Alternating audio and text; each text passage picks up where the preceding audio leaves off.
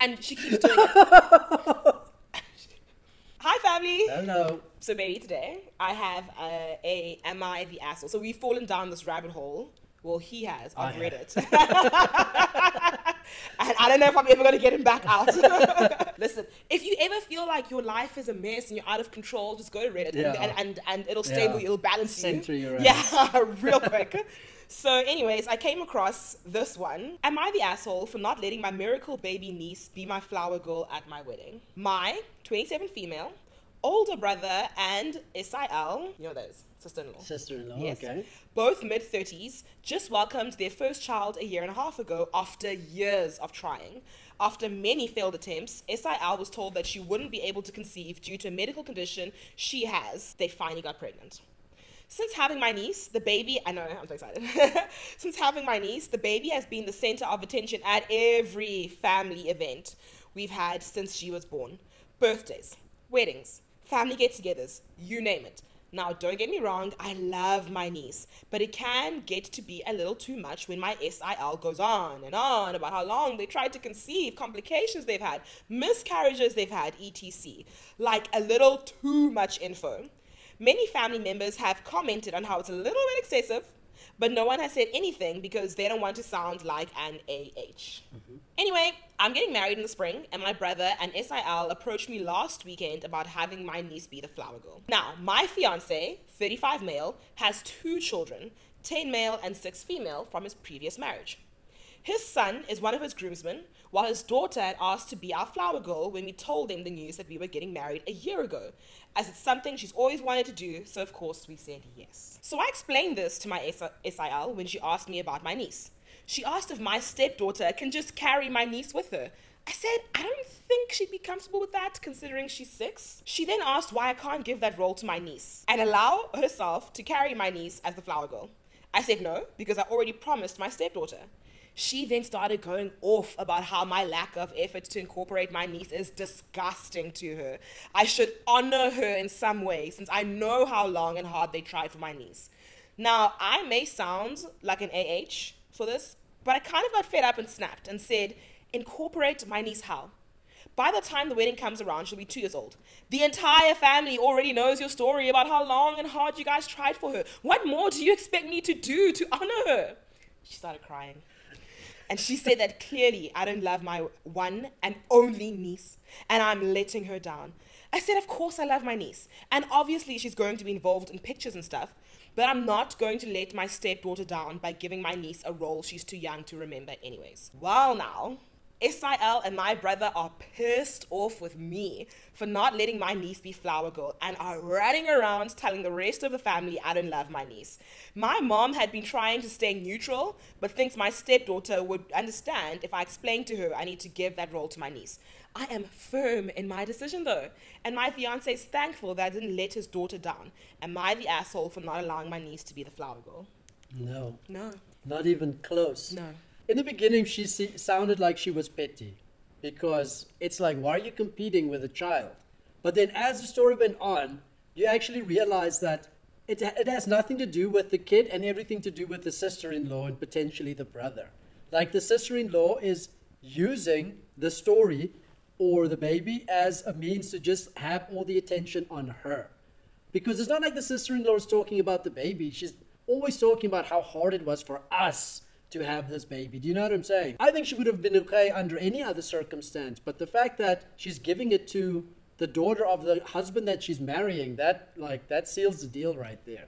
You're so kind for even indulging and really pulling this apart. You're so kind. Because I was just like, no.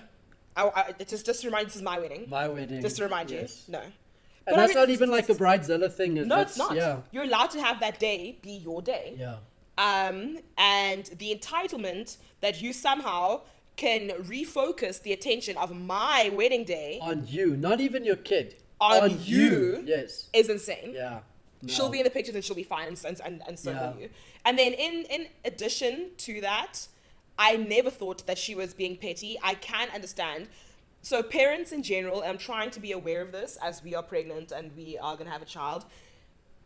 No one cares as much as you about all the stories about your child's first sneeze or the funny thing they did at preschool, whatever. No one cares as much as you do. And I have had the experience of like parents just sharing things that I just don't care. Like, it's too much now. Please back up a little bit. So I think it's a parental thing, just in general.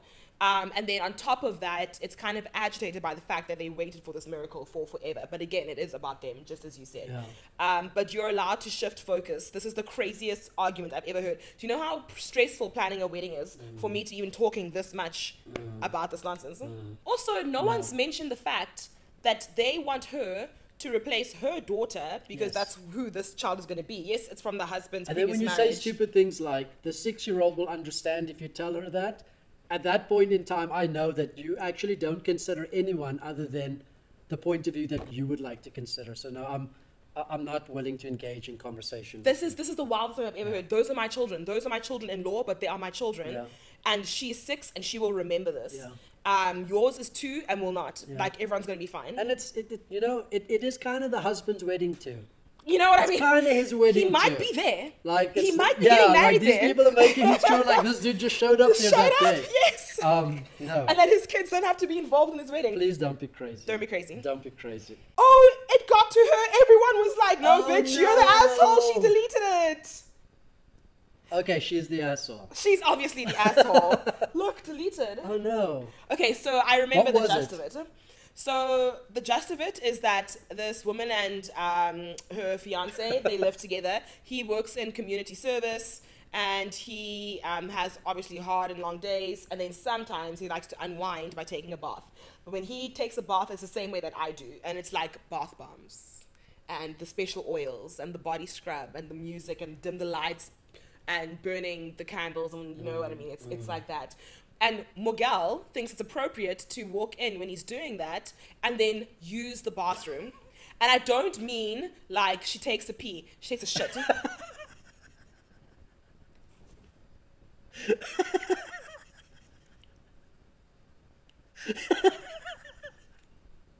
and she keeps doing it.